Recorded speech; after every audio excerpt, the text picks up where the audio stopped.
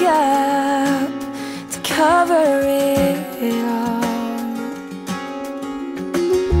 Crying myself to sleep, cause I cannot keep their attention. Thought I could be strong.